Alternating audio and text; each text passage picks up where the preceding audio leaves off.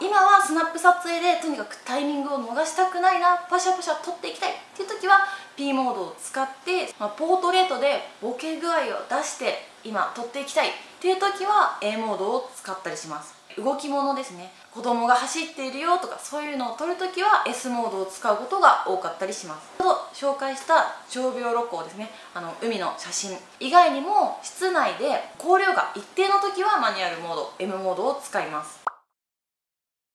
皆さんこんにちは渡辺亮です。いつも動画をご視聴いただきましてありがとうございます。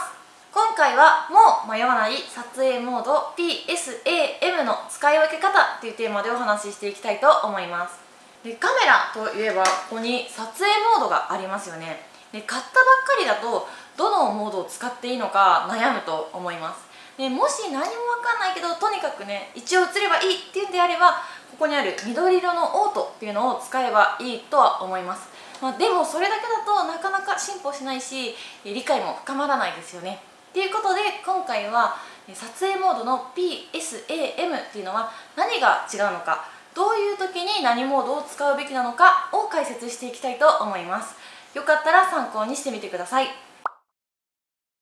まず1つ目は P モードです。P モードでは絞り絞りのことは F 値とも言うんですけども絞りとシャッタースピードという項目を自分で指定することができないモードです。で個人的には私が初心者の方に一番おすすめしているのがこの P モードです。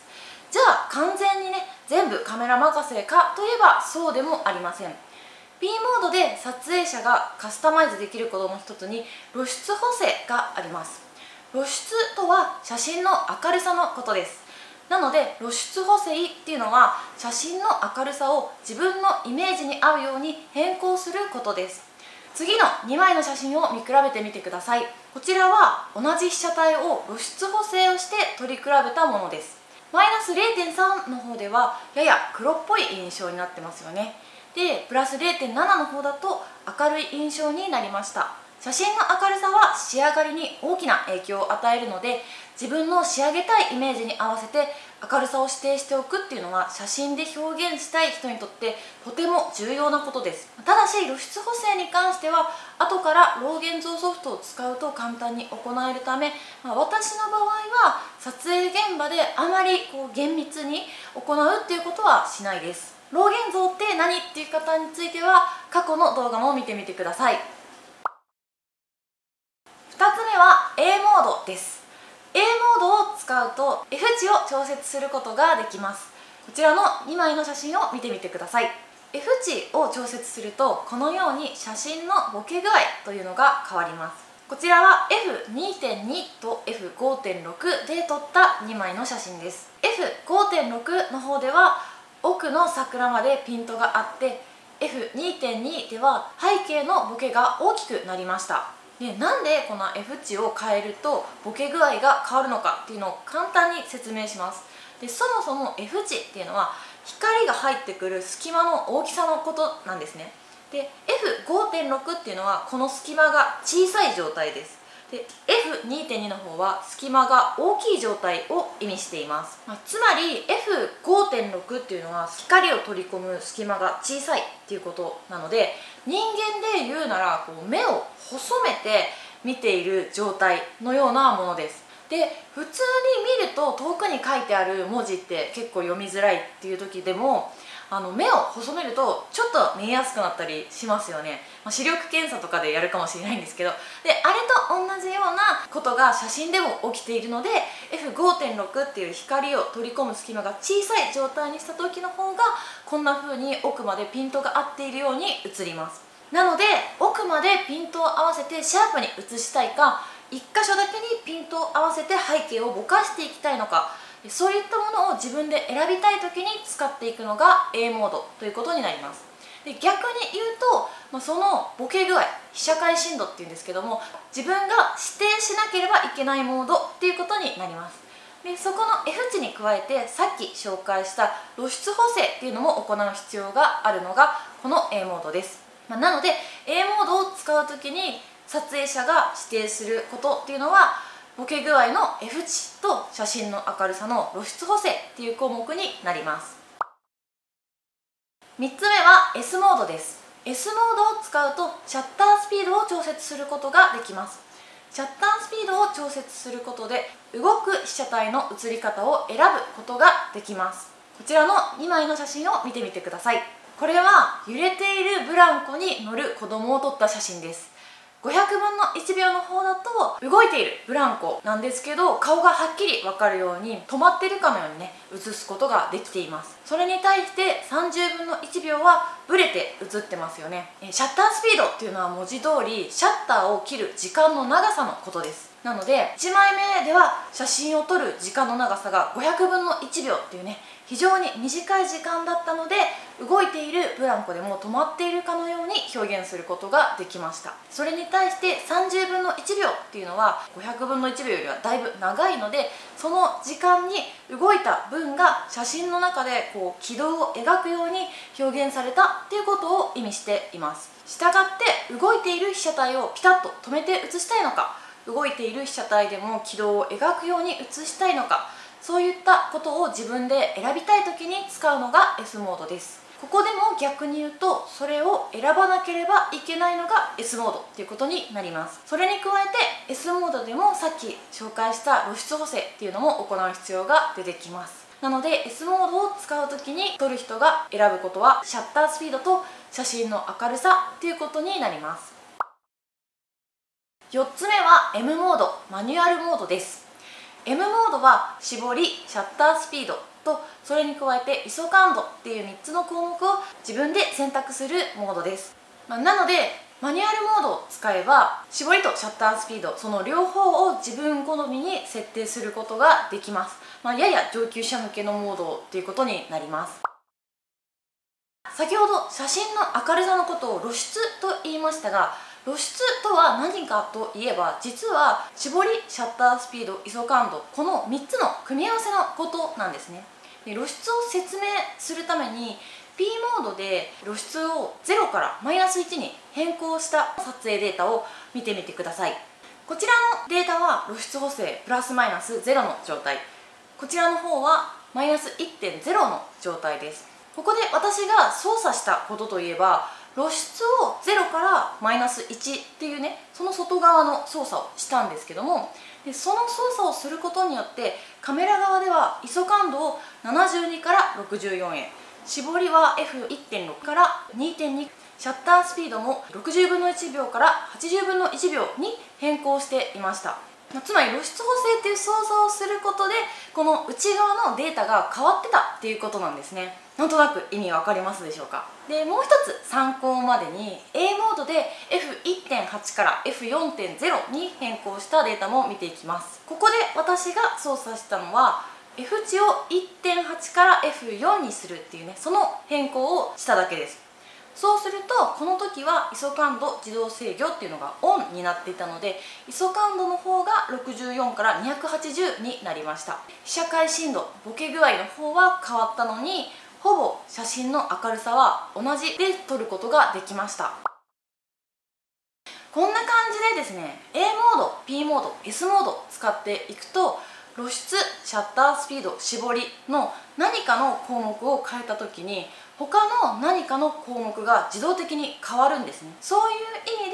で A モードのことは絞り優先オート S モードのことはシャッタースピード優先オート P モードのことはプログラムオートっていう言い方をすることもあるんです。それに対して M モードマニュアルモードでは自動で何かの項目が変わるっていうことはありません。A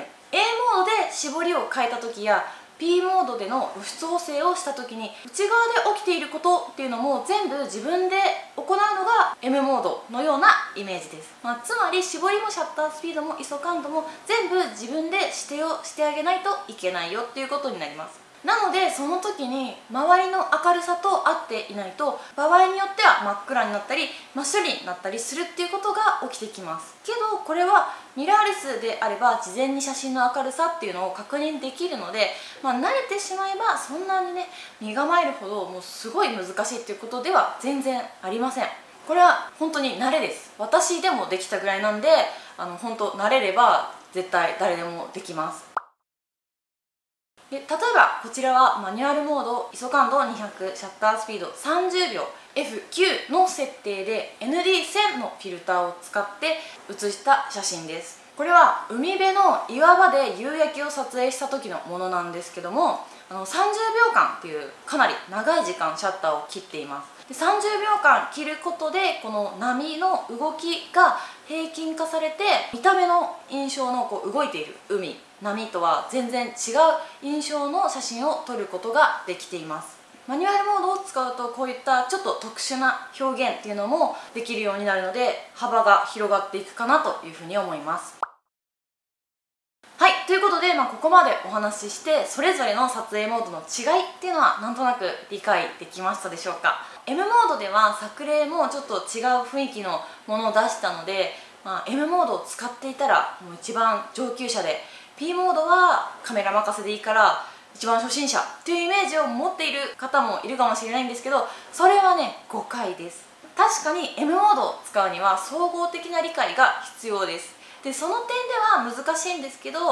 あの私自身がいつも M モードを使っているっていうわけではね全然ないです。今回紹介した絞りシャッタースピードを調節することでできる表現っていうのももちろんあるんですけどそれっていうのはあくまで写真を構成する要素のほんの一部だからなんですね。他には何があるかっていうと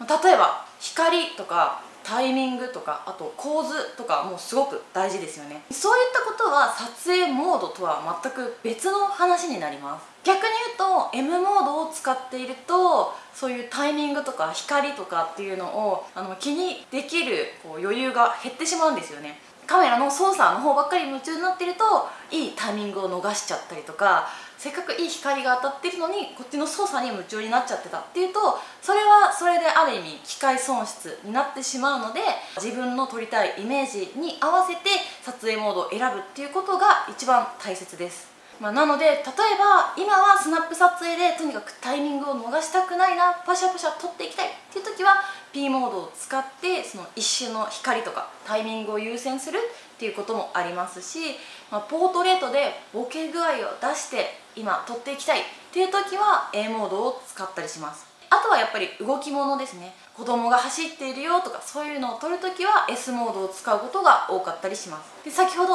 紹介した長秒露光ですね。あの海の写真以外にも室内で光量が一定の時はマニュアルモード M モードを使います。まあ、そんな感じで適宜その時の自分に合ったモードを選ぶっていうのが一番賢い方法です。まあ、せっかくねカメラを購入したからにはこの撮影モードの違いっていうのを正しく、え、理解して自分のやりたい表現に合った適切なモードを選んでくれたら嬉しいなっていうふうに思います。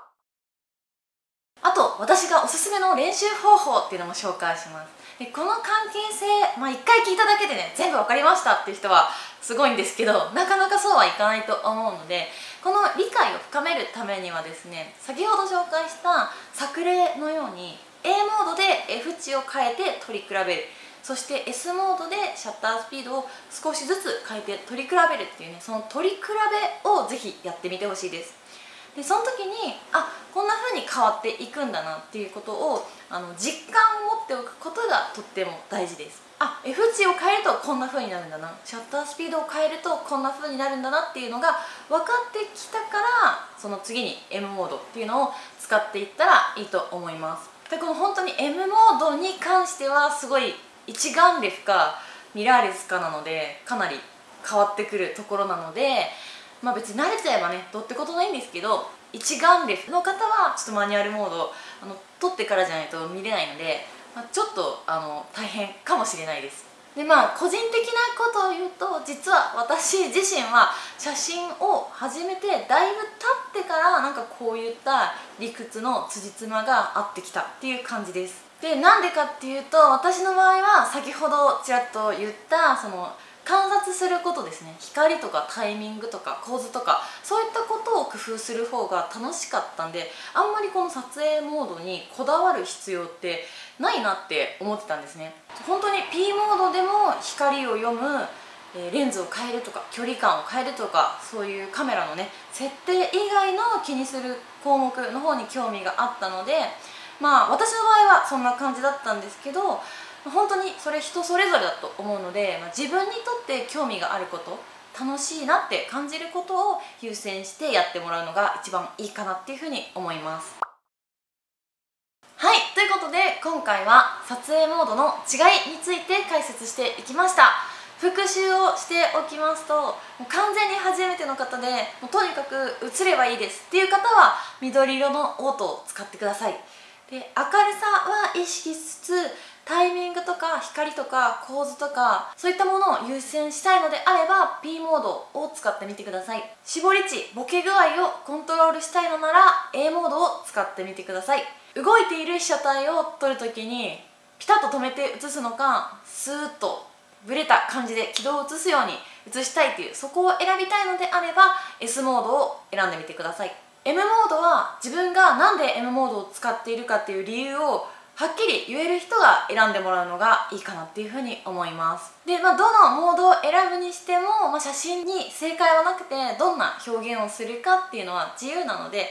やっぱり自分が楽しいなとかあ自分がなんかいい感じに撮れたっていうその自分の満足感っていうのはすごい大事にしてもらった方がいいんじゃないかなっていうふうに思います。はいということで今回も最後までご視聴いただきましてありがとうございました。この動画が少しでも面白かったとか役に立ったと思っていただいた方は高評価ボタンやチャンネル登録で応援のほどよろしくお願いします。今回の話を聞いてありょうさんの考え方が結構好きかもしれないとかえ直接写真を見て、えアドバイスしてほしいなっていうふうにね思った方がもしいらっしゃいましたら私はオンラインサロンっていうのをやってますのでそこに入っていただくと写真の高評会だったりあとは、えオフラインでのみんなで集まって撮影するイベントなんかもやっていますので概要欄のリンクからチェックしてくれると嬉しいです。あとインスタもやってますのでよかったら私の写真はそこに結構載せてるのでチェックしてみてください。